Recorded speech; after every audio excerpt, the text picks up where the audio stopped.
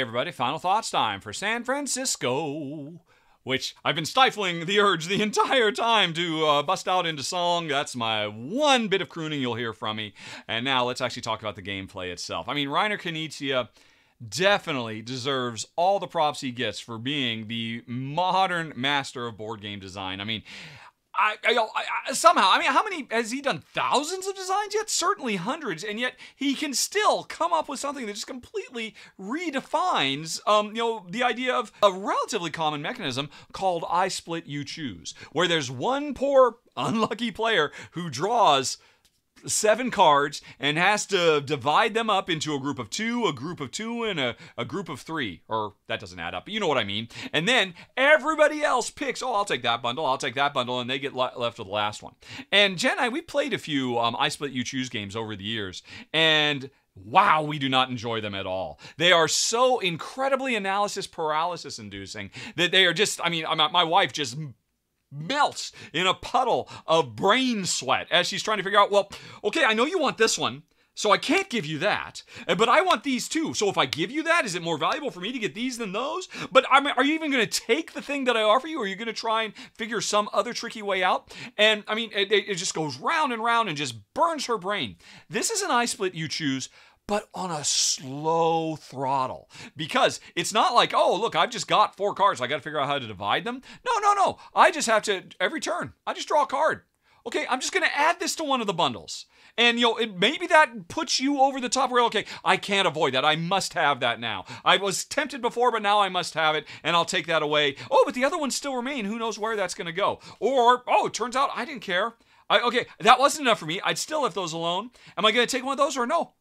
I'll take another. And oh, now this combos really well with that.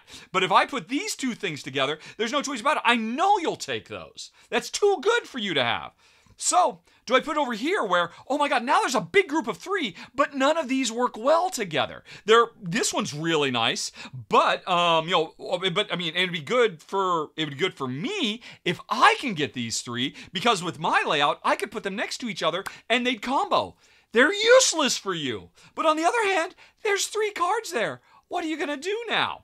And then you have to decide, well, okay, I could take these three that are only marginally useful, or I can leave them for you and they'll be really great for you. But then um, the trick to this game is it's so brilliant. Every time you decide, oh, my turn, instead of just putting more cards out on the display, I will eventually take them. You don't take just them, you take the red tape. And the more of these you have, the more hamstrung you are, the less you can do on future turns. And the more you just have to sit back helpless and watch as um, the other players get to build up the super perfect combos that they wanted, and you can't stop them. The more often you take, the more you will get slowed down, and the more you help your opponent. And it's freaking brilliant. Oh my gosh, this is such a smart, simple, elegant idea. Especially when you layer in that one extra little tidbit that um, if everybody, if all players around the table have at least one contract, then everybody has to give one back. So that one player, you know, if you're playing a four player game who just keeps waiting and keeps waiting, and then suddenly everybody else is all tied up and they're like, ha ha ha, I can just let the things come in. Oh my God, look at all these amazing combos I've got. But as soon as they end up taking one of those combos, instead of them taking one contract, um, then every one of their opponents gets to put a contract back. And suddenly they're like, oh, the noose is off. I can breathe again. Now have options. So the interplay between players is brilliant. And while I don't think there's any two ways about it, San Francisco is going to be more interesting the more players you have. It does work surprisingly well as a two player game, also, because it becomes a real chess match. I would imagine at four players, really, I can't pay attention to what the player to my right is doing and what the player on the other side of the table is doing. It's just me and what am I giving to the player to my immediate left. If I put this card out, what do they get to take? And um where but there's still a whole bunch of other stuff. Those other half of the that are just kind of almost just throwing stuff in and I, oh my god that fell in my lap. Nobody can keep track of what everybody wants. But in a two player game you can. And every turn is, I mean, I said uh, I split you choose can be really kind of uh, analysis paralysis inducing almost to a debilitating level. At least they can for me and my wife Jen. I mean, they are they are literally kryptonite for her as an already AP prone player.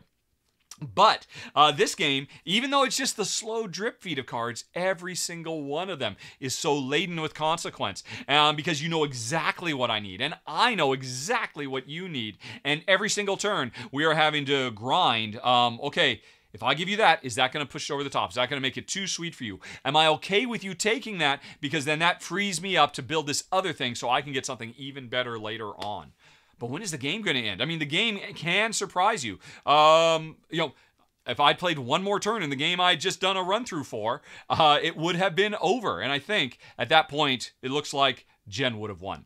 Um, sorry, folks. Uh, spoiler alert for the extended playthrough. I came one turn away from finishing the game. Go figure. Uh, anyway, though, uh, so there's constant tension and pressure, even on those simple early turns. Like the very, very first turn is meaningless because the first player has no choice. They have to play a card, and it doesn't matter where they put it. I almost wonder why they didn't say, hey, you know what? For the start of the game, just put one random card in the first slot, just because that first turn just seems weird. But immediately after that, players are having to decide how good is that one card? Is that one card worth me getting a contract and, and gluing myself down for a little bit? That's a good freaking card. That is a great card to start with. That card gives me a lot of options. And if I don't, somebody else might take it.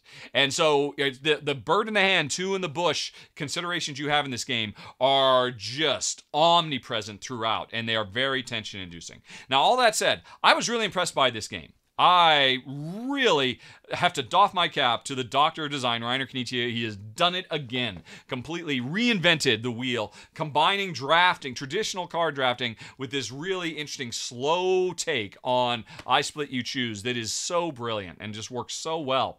But for my wife, it was still very frustrating. Um, you know, analysis to the point where she's like, "Oh, I'm just, I'm, I'll just put one here," and she often felt like, um, you know, and, and, and this is a rare game where I can crush her in it.